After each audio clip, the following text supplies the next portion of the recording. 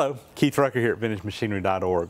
So uh, we got a little project again here today that uh, I thought you guys might enjoy watching uh, do. So what we've got is a shaft, uh, and it's uh, this is a, the original one. It comes out of a uh, oscillating spindle sander, an old antique one made early 1900s, and this is the original one that's in there, it's actually been uh, pretty heavily modified over the years uh, as they have made some changes to it. And we're basically going to do a total redesign uh, on the shaft uh, to kind of make it work with a little bit more modern um, tooling uh, that you can get for these now. So let me kind of zoom you guys in here and uh, show you what's going on, what the plan is, and we'll get started.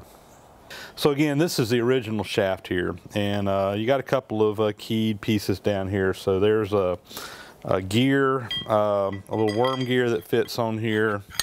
I'm not sure if that's the if it's this way or the other way. Uh, it really doesn't matter for what I'm doing with it, but that gear fits on here. And uh, this is what spins it, and um, basically this thing oscillates up and down uh, on this on this gear right here. Uh, so this shaft is turning, and uh, as it's turning, it's oscillating up and down. Uh, there's a bearing that fits uh, right here. I've got the bearing.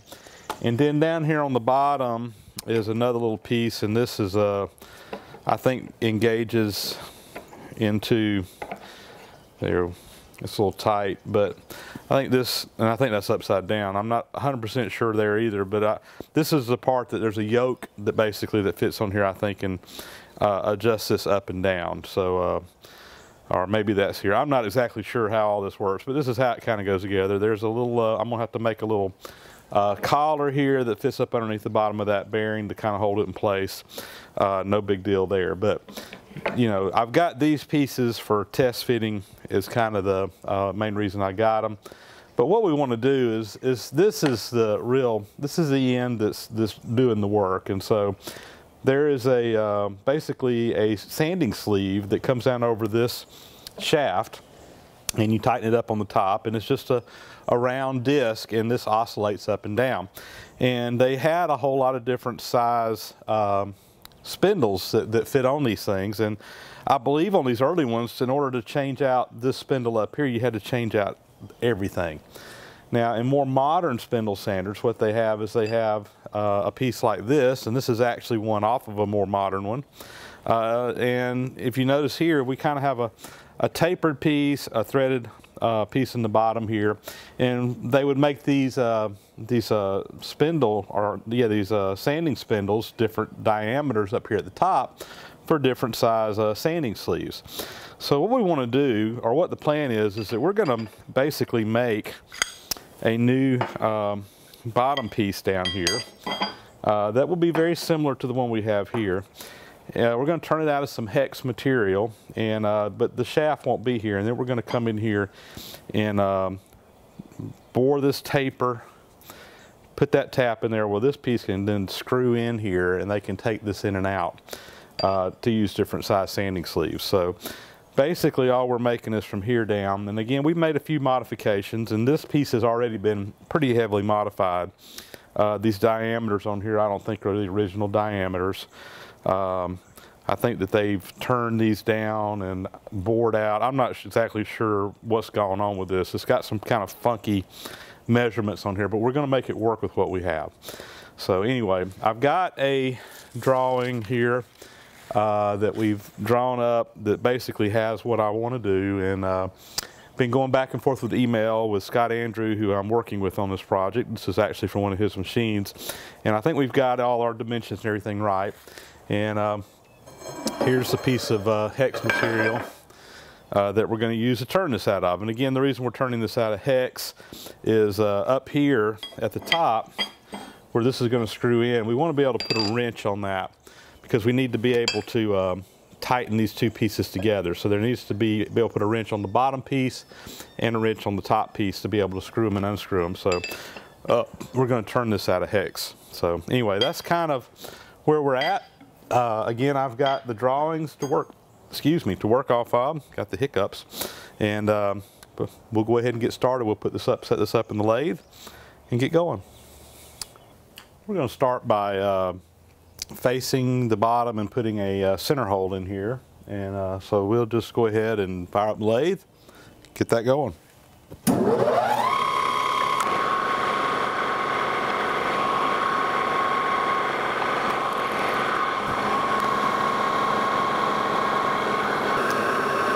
We've got this uh, piece of stock in here now and uh, thin it out. Uh, we need to go about 11 inches deep. I've already put a mark in here of 11 inches. Just uh, measure that with a rule and uh, hit it with my cutter on the lathe just to kind of know where I need to stop.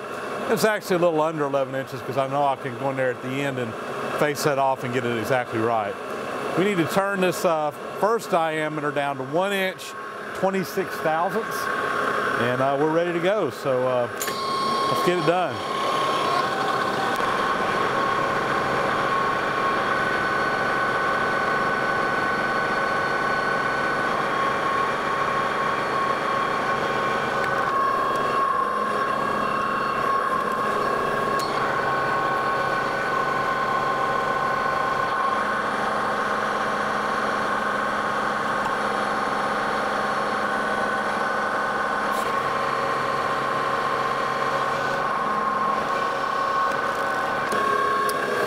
Let's see where we are now.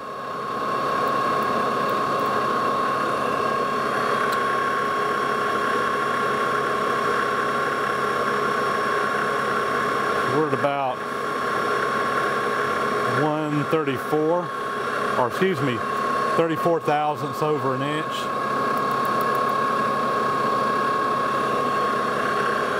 Still got about two thousandths taper in there.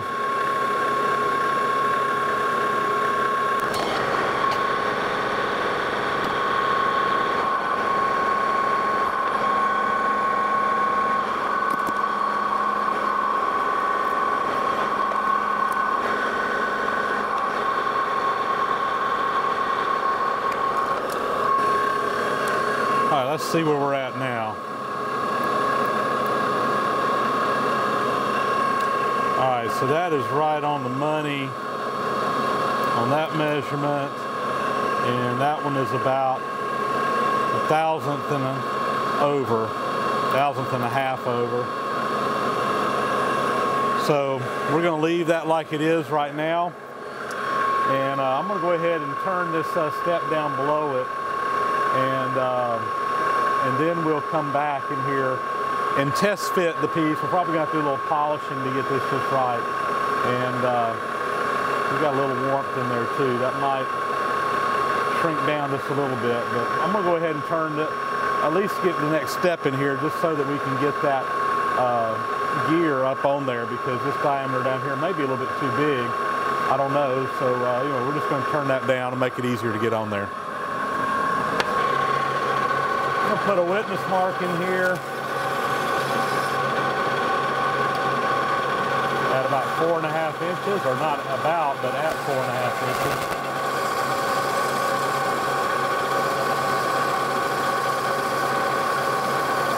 That's good right there.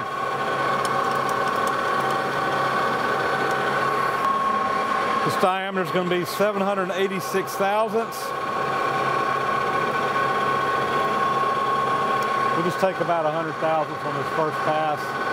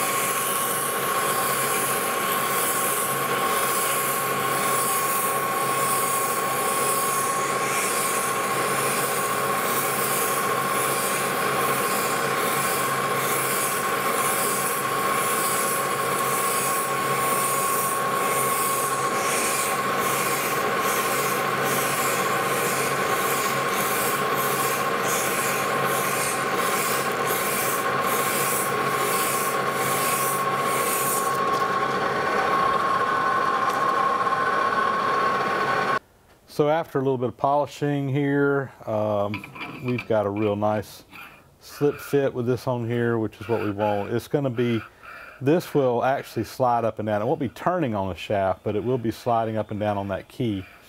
So we need to have a good clearance, and um, that is just fitting like a glove. So uh, I'm real happy with that. So now we'll get on down here on the bottom end and uh, finish uh, turning it down to here.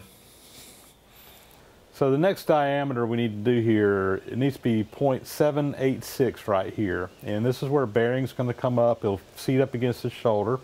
And it's only gonna be about 600 thousandths, then we're gonna go down to a smaller diameter again. So we're gonna go ahead and turn that on there and uh, get it where that bearing will fit right up on. And we need to take off about 150 thousandths.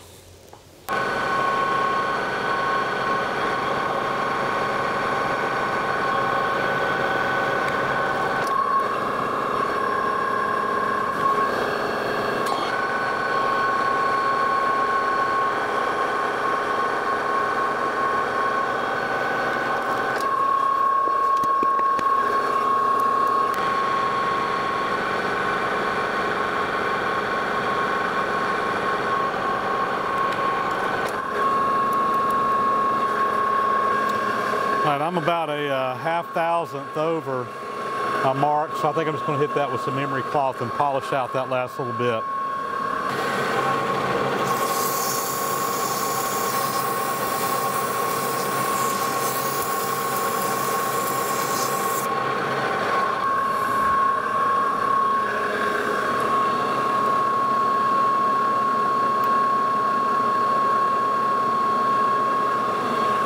All right, that's right on the money.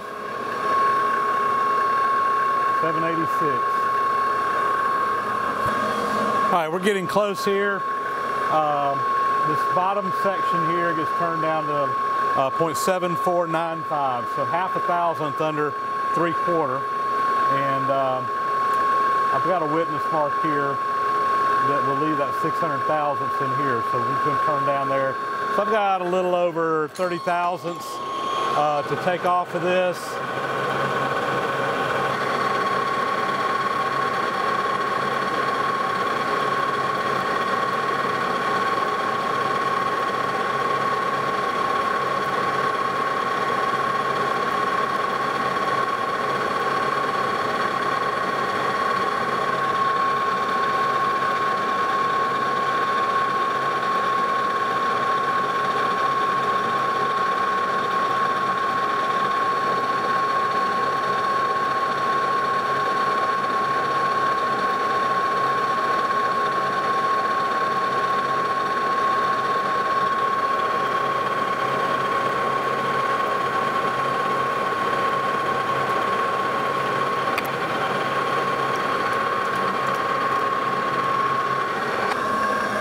All right, we're real again. I think I'm just going to polish off uh, the shaft here and uh, test fit it.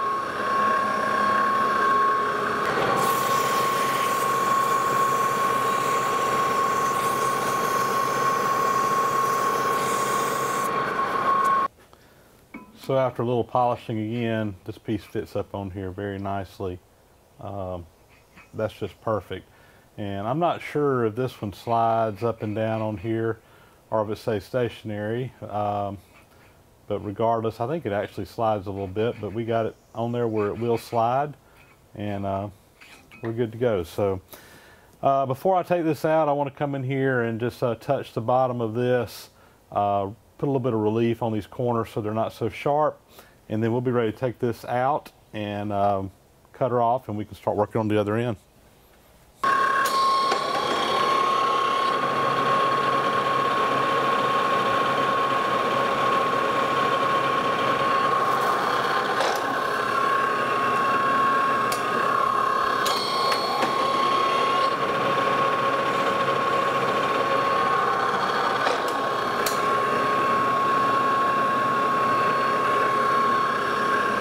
So uh, I have pulled the um, piece out of the lathe now, and what I'm want to do is when we turn it around the other way, we're going to one of the operations is going to be boring uh, the hole to match the taper. And this is the, the arbor that's going to be going down in there. And this is a, a slight taper. When I measured it with the calipers and used some trigonometry to help figure out the angle, it came out to a two degree angle on each side. So um, uh, I came over here to the lathe and I, I, set my compound to two degrees, but I wanted to verify uh, that, that it was indeed the right angle. And it really doesn't matter what the angle is. What's important is, is that I've got the angle perfectly matching that. So I've come in here now and I've set up the arbor that will screw down in there. I have it between centers in the lathe. And what I have done is I have just bumped around uh, the, the uh, uh, compound here to get the angle just right. So if you look, I'm gonna just move the whole carriage. You can tell, you know, there's, there's a taper on there. So as I move the whole carriage, there's a taper on there. That's moving it parallel. I've got it on zero now. Now I'm gonna crank out the, uh, the compound. And as you can see, I've got it really, really, really close. Uh, I, I, can pick up, you know, maybe a tenth of a thousandth or something on there, but it is hardly moving off of that uh, zero. So I'm, I'm happy with this. Like I said, I've just kind of bumped it around. And if you read the, um, the readout on the uh, compound itself, it's saying it's just a little over one degree. And so I don't know if, if this is absolutely perfect or whether, you know, it's off by three quarters of a degree. Uh, it's very likely that this is not perfect. But again, what is important is I have this compound now set up perfectly to match that, um, that angle.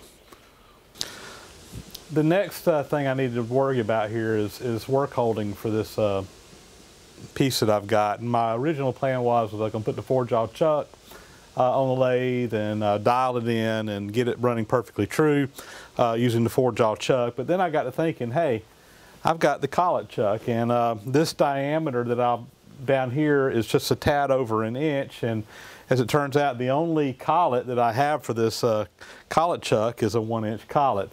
Uh, so I put it on and checked it out and sure enough you know this is just going to be perfect. So we're just going to use the collet chuck and uh, that'll have this part you know running dead nuts on uh, so I'm tickled with that. You know, I picked this collet chuck up uh, back last, uh, late last fall, and it's kind of got oddball size collets. These are 22J collets, and um, they're expensive, and I just haven't found very many of them yet in a price range that I was willing to, to pay for them. I'm sure as I do more projects and I have a need for different size collets, I'll be adding to those sizes. But right now, the only one I have is a is a one inch for this and but for this job that's going to be perfect. So uh, that's all uh, chucked up. I'm probably going to put the indicator on here just to make sure it's running true but uh, it, it, should be just really right on. So uh, uh, we'll go ahead and start working on this end. Next step here, we want to uh, go ahead and face the top of this out, get it uh, smoothed up, and also we want this uh, head to be a half inch thick. So we'll true it up first, put the calipers on there, measure it, and we'll get that uh, uh, turned down to half inch.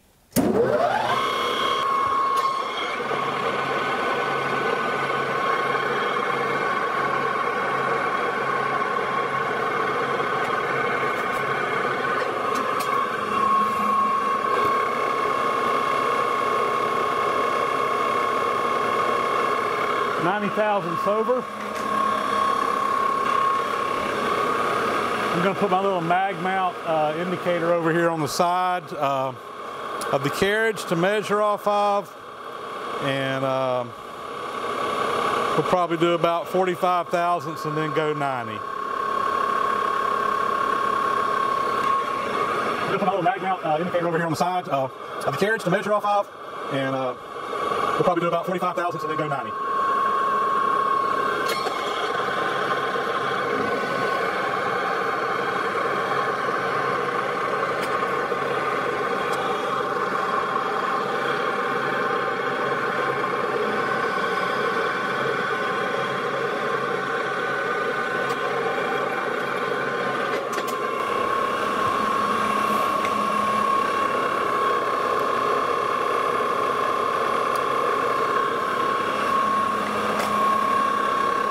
Next thing I want to do here is just kind of knock these corners off like I did on the back side. So I've got a uh, cutter here. It's actually a threading tool. It's not quite, I got the angle where it's not quite 60 degrees. I don't know what it is, but it's just something to kind of round these over. And we're just going to feed this in basically until uh, it's even with the, the low spot in the flat.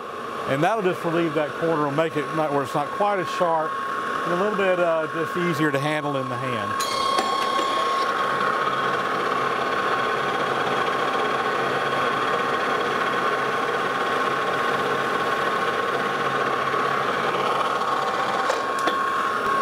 Go ahead and center drill this.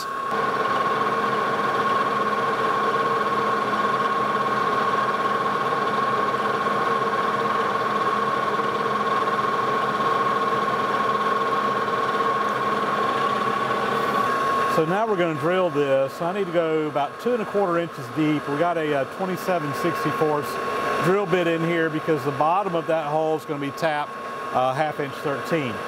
So uh, then I measure my depth uh, where I've got a little bit extra clearance in the bottom. Uh, like I said, we're going to go about two and a quarter inches deep and uh, we're ready to go.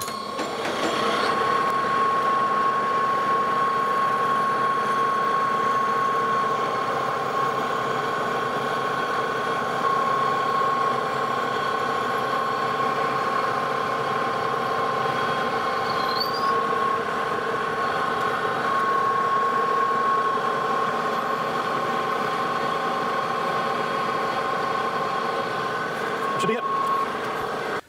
All right, I um, went off camera there for a couple of minutes and kind of double checked my setup and uh, made sure everything's like it needs to be. And I want to kind of show you guys how we got this set up here. So again, uh, the angle is already set on the compound. And again, we indicated that in on the original piece to get it to match. So um, I've got this now set, and I'm, I'm to move that in.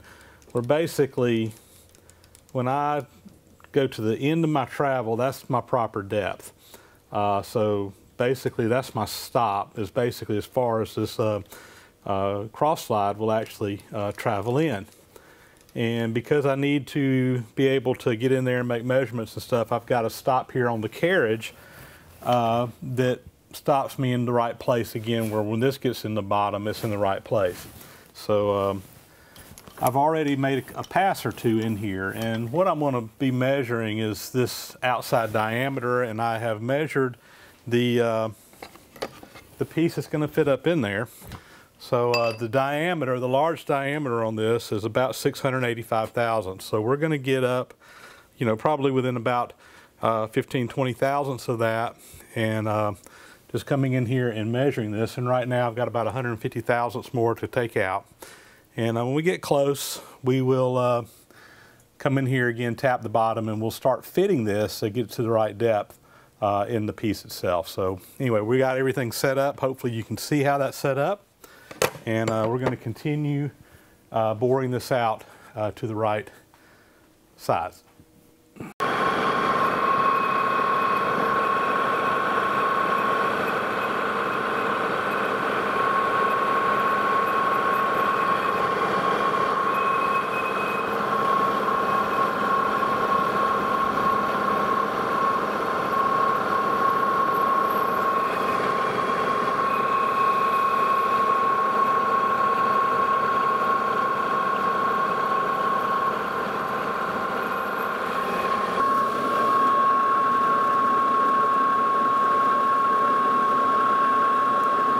within about 20 thousandths of our final size, so I'm going to go ahead and uh, we'll tap the bottom of that hole and do a test fit and kind of sneak up on that final fit. So uh, I'll set up for the tapping.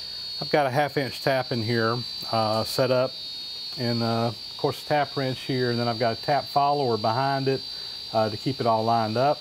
This is just a little spring loaded point that I will adjust in as we tap in. And I'm using a uh, just regular uh, taper tap right now, hand tap. And uh, we'll go to the bottom and uh, then we're gonna blow it all out and we'll come back in with a bottoming tap and uh, tap all the way, get the threads good all the way to the bottom. But for this first pass, we'll just use the um, taper tap.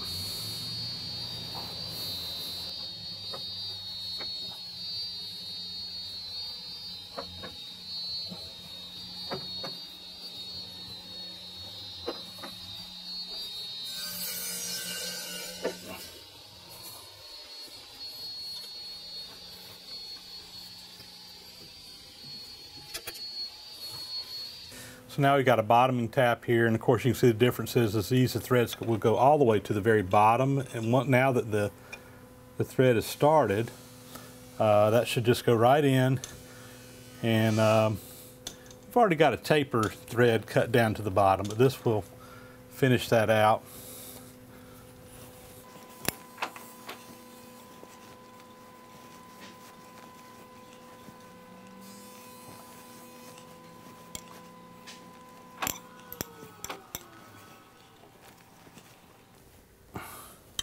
And that feels like bottom right there.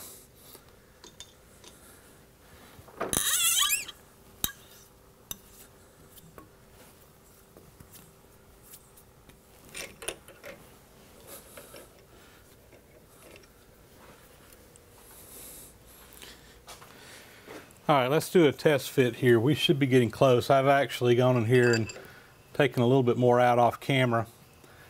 And all right, we are getting down really close here.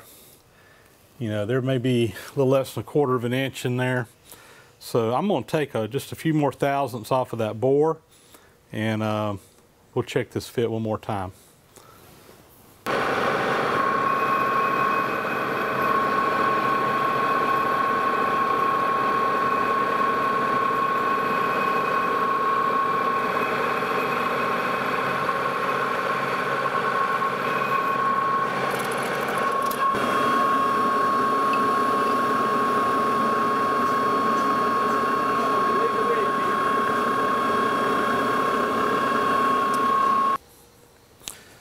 So we've got the turning done and uh, I'm pleased with the fit and finish, all that. You can see the original shaft back here. Um, one thing I am a little bit concerned with, and uh, this is something that Scott and I had gone back and forth with on his measurements, and I'm trusting him on his measurements. He wanted this to be up a little bit higher, but you know that's a good bit higher. I'm hoping that that's not going to uh, cause a problem. Uh, so anyway, we hopefully we won't have to make any modifications to the plan.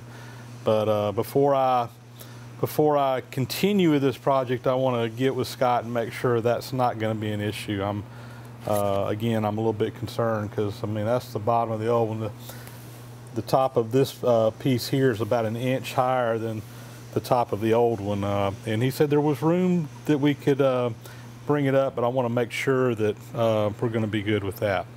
So uh, what's next on this? For number one, this is all for today. Uh, but once we uh, get back, we got, or once I get confirmed that everything's right, uh, we got to put some keyways in here. I've got the bearing. We'll go ahead and put the bearing on.